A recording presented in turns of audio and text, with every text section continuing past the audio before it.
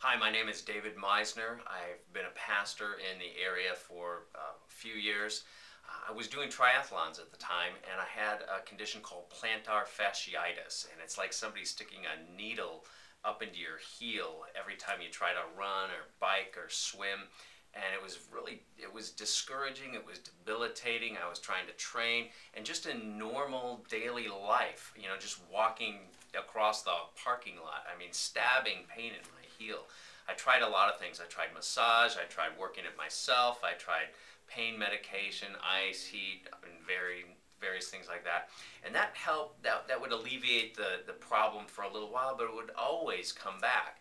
And um, obviously there was an underlying issue that never got resolved or addressed. Uh, so I met Chris Vercelli um, at uh, um, it was a storefront um, uh, training facility, and we just happened to meet uh, by a, a godsidence. And um, he started working with me, and and right away. Um, I, I, was so impressed because he went right to the, um, he was able to diagnose the, the core uh, of the issue, the, the problem, the, the source of the problem, and went right to it, alleviated the pain, but not only did he alleviate the pain, he went right to um, the, the, the issue that was causing the whole thing.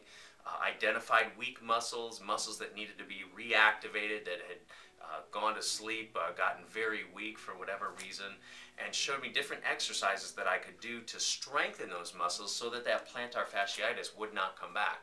My, uh, uh, my triathlon uh, performance increased dramatically, but most importantly, just regular daily life became easier and, and my body became stronger as a result of having done that.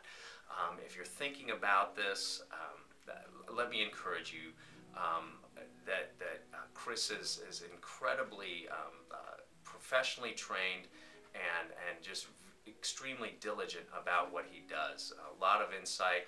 And uh, also, while he's working on you, you know that he's connecting with the Lord. He's praying, uh, getting the Lord involved, and, and just uh, listening to the Holy Spirit uh, guide in, in, in the alleviation of the problem. Bless you. Awesome.